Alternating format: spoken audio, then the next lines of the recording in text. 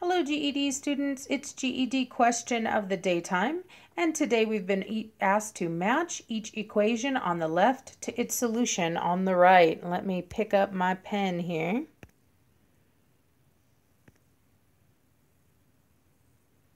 Okay, so match each equation on the left to its solution on the right. They're asking us with solutions to solve some equations and real nice because I'm looking at these equations on the left. They look like some pretty simple one-step equations.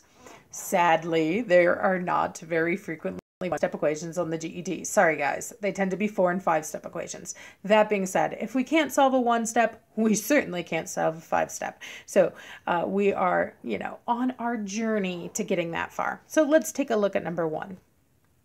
Number one says 3x equals 9. Uh, wh what does it mean to solve an equation? It means to get the letter alone on its side of the equal sign. So I'm trying to get this x to be isolated, to be alone. In order to do that, I need to get rid of the 3. Right now the x is not alone because of that 3. Okay, you always get rid of numbers. You move them away on another side of the equal sign by doing the opposite of what's happening. Well, 3 all shoved up against x like that, what's happening? 3 is timesing by x. I'm going to do the opposite of multiplying or timesing. I am going to divide. The rule of solving is you can do whatever you want as long as you do it to both sides of the equal sign. So I'm going to divide the other side by 3 as well. And let's see what happens to our equation. What will our new equation be? On this side, multiplying and dividing by 3 cancel, so that x is alone. On this side is the math to do. 9 divided by 3 is 3. So the solution to that first equation is x equals 3. 1 matches with C. Let's try solving the next equation. Next equation says x over 3 is equal to 9.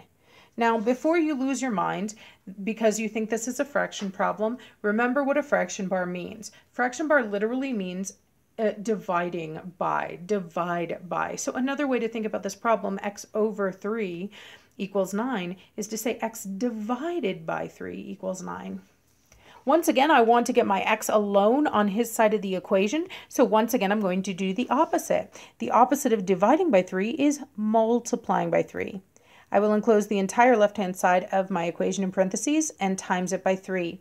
Now, the rule of solving is I can do whatever I want as long as I do it to both sides. So I'm going to enclose the entire right-hand side in parentheses and multiply that by 3 as well. My change is balanced. Let's see what my new equation will be. On this side, dividing by 3 and multiplying by 3 cancel, so that my x is alone just like I wanted. And on this side, 9 times 3 is 27.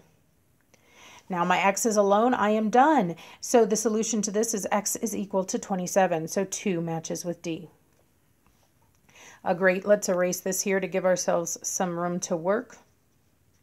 And let's try the next equation.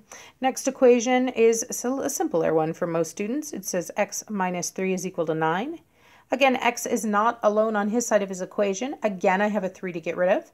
You always do it by doing the opposite. You always get rid of things by doing the opposite. So the opposite of minusing 3 is adding 3. Let's go ahead and add 3. Now you can do whatever you want to an equation as long as you do it to both sides so it remains balanced or equal on the left and right. So let's see what our new equation will be after making that change to both sides. On this side, subtracting 3 and adding 3 would 0 or cancel out so that x is alone. And on that side, 9 plus 3 is 12. And so I do get a solution of x equals 12. Uh, 3 matches with B.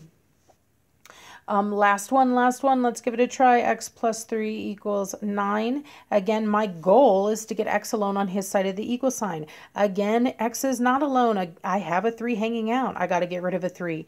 You get rid of uh, a number by doing the opposite. So the opposite of add is subtract. So I will subtract 3.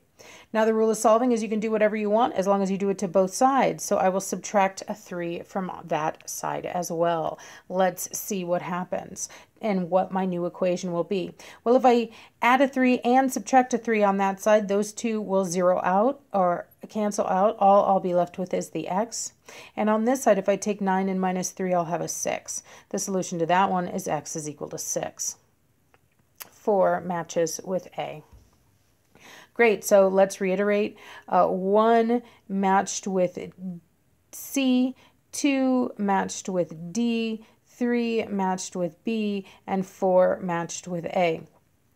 Great. If you have any questions about this or any other GED math topic, be sure to drop it in the comments and I'll do my best to answer it.